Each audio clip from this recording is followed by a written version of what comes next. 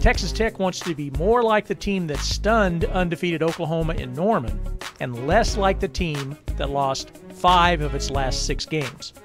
The losing skid led to a 5 and 7 record that ended the Red Raiders streak of 16 consecutive winning seasons.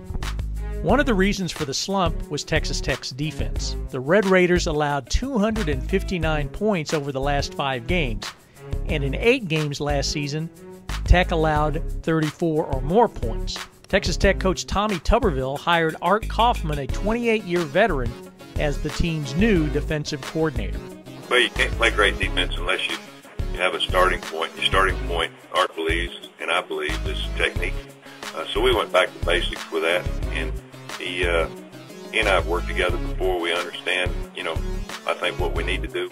I think that just the continuity of everybody being on the same page is really going to help us. Tuberville hopes that some junior college transfers will provide an instant boost on defense. One of those is middle linebacker Will Smith, who was impressive during spring practice. The offense figures to be as potent as ever. In his first season as a starter, senior Seth Doege was outstanding at quarterback.